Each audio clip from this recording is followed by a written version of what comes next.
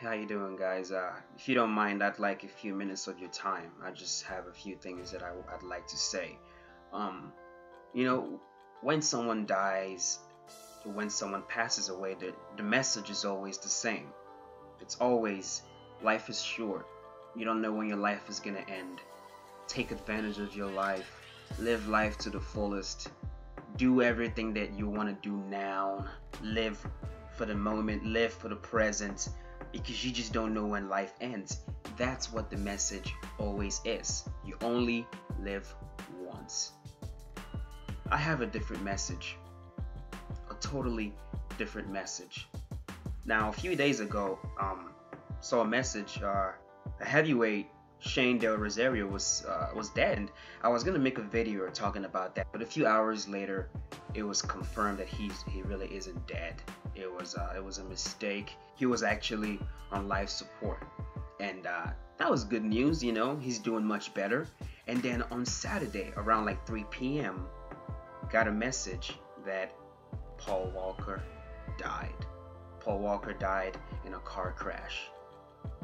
And that got me thinking. It really got me thinking. And what I was thinking in my head was what exactly is the point of living for now? What is the point of living life like you could die tomorrow? Do we just hear that and not have some time to ourselves to just think about that? Because I have a totally different message. And my message is keep yourself safe. Keep yourself alive for as long as possible. Keep yourself alive for people who need you out there. That's my message. There are certain deaths that to me are preventable and unnecessary. And Paul Walker's death was one of them. I've almost died three times. I'm 21 years old and I've almost died three times. The first time that I almost died, I almost drowned. The second time I almost died, I also almost drowned. I still don't know how to swim. I know that's surprising to a bunch of you, but I don't know how to swim. And the third time that I almost died was that opened my eyes. It was a car crash. This happened a few months ago. I was driving my Nissan Altima. I was coming back from work, and uh, I was turning into an exit, and there was a truck to my left, and the truck hits me. I hit the rail. The car spins, throws me back into the into the highway. Got hit again by an oncoming vehicle. It was just a bunch of shit. Like it was messed up. And when the accident was over, I opened up the door, stepped out of the car, looked at my body, looked at my arm, looked at, you know, my chest, my legs, no bruises, no no cuts, no injuries, Nothing was hurting. I was fine.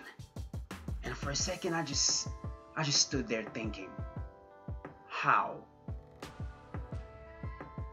How? When the cop came, he looked at my car and he was like,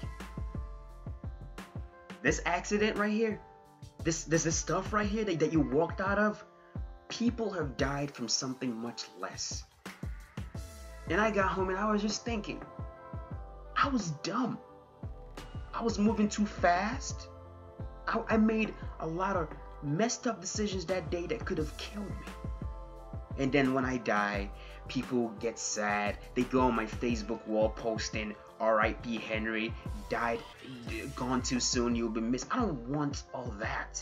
That's not what I want. I don't want people crying because I'm dead. I have a girlfriend that I love to death. What is she gonna do if I die? I have a mom that I love to death. I have a father that I love to death. I have two sisters that I love to death. What, what am I gonna do? Hey, what, what are they gonna do? If I were to die, I mean, if I die, I'm dead. That's it. I'm not gonna be in pain forever. But what of them?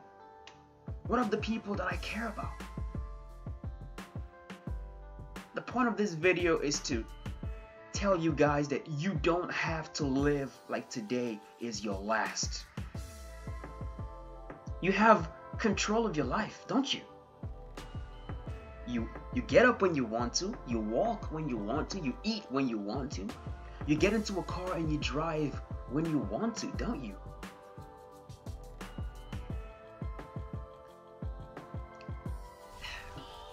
You have control of your life. It's in your hands. It really is. Yeah, things happen. Sometimes accidents just happen. But for the most part, you have your life in your hands. You can prevent yourself from getting sick. You can. You can live a healthier life. You can.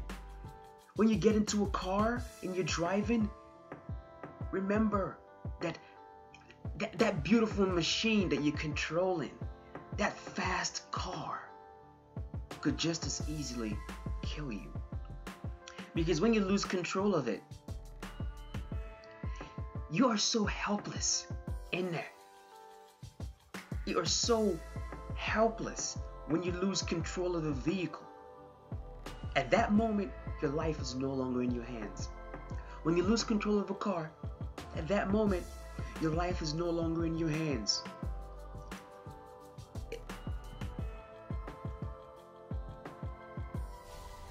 I'm saying this, guys. Keep yourself safe. Remember that you're mortal. This is flesh. This is fragile flesh. You got a brain in your head. You got a heart in your chest every single thing inside of you could stop working like that. You could die anytime. But that doesn't mean you have to live recklessly. That doesn't mean you have to do everything now. You gotta skydive now, and you gotta surf now, and you gotta you gotta do every single thing right now. That's not what it means. you only live once should mean value your life. That's what it should mean. See, people do crazy things because they believe, oh, you only live once, I have to do everything right now. That's not what it means. You only live once means value the one life that you have. Cherish it, love it, love yourself. That's what it's supposed to mean. That's that's that's the point of this video. I love you guys, man. And I don't know how many people are gonna see this video. Maybe 20, maybe 30 people at most. I don't know. Whoever sees it, I want you to know that when I say keep yourself safe at the end of my videos, I don't just say that because it's fun to say. It's actually how I feel. I want you guys to keep yourself safe. Don't die. Don't die. Especially not at 40. 40 years old. Oh my goodness, man. Paul Walker. Paul Walker. He's got a 15 year old daughter, too. That was a preventable death. That was a an accident that was preventable. He could have been alive right now. I don't know. Alright, that's all I have to say keep yourself safe. Remember, you have people who will miss you, people who will be devastated. Don't break their hearts.